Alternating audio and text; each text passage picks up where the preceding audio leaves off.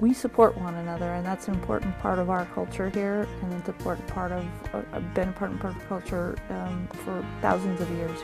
What will it take? What types of decisions do we need to make to ensure a healthy, happy environment for Alaskans going forward? Again, I can't stress enough the importance of communicating with the community, uh, talking with the community, dialoguing with the community, asking about these needs and challenges. We're going to reach out into our community and ask the question, what matters?